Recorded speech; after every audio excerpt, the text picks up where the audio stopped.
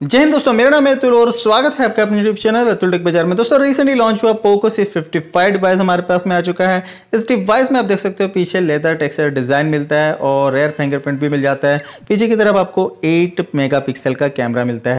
And secondary depth camera मिल जाता है। सामने अगर आप देखोगे तो आपको 5 मेगापिक्सल का कैमरा वाटर ड्रॉप नॉच के साथ में मिलता है। 6.52 इंचेस का आपको एच प्लस डिस्प्ले मिल जाता है। एंड इस मोबाइल में पावर के लिए Helio G thirty processor provide किया गया है। 5000 थाउज़ेंड की बैटरी 10 वॉट की फास्ट चार्जिंग आपको मिल जाती है। ये मोबाइल दोस्तों एंड्रॉयड 13 गो एडिशन के साथ में आता है। हमारे पास जो वेरिएंट है four G B sixty four G B variant है। इसमें three G B virtual RAM का सपोर्ट भी मिल जाता है। देखते हैं हीलियो जी थर्टी सिक्स इस मोबाइल में अवेलेबल है। इसका एंथ्रो बेंचमार्क स्कोर क्या मिलता है?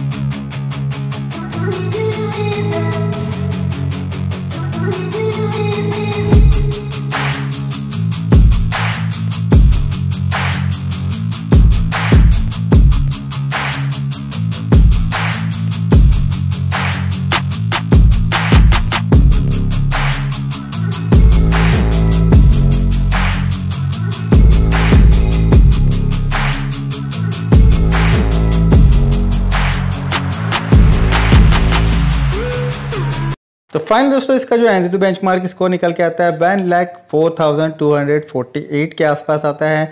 एंड ये जो डिवाइस है दोस्तों लो बजट सेगमेंट की डिवाइस है। यहाँ पे आप देख सकते हो वन लैख के ऊपर तो इसका स्कोर आता है। मल्टीटास्किंग आप इसमें अच्छे तरीके से कर सकते हो बट हेवी गेमिंग अगर आप यहाँ पे कर रहे हो तो यहाँ पे थोड़ी सी दिक्कत जा सकती है।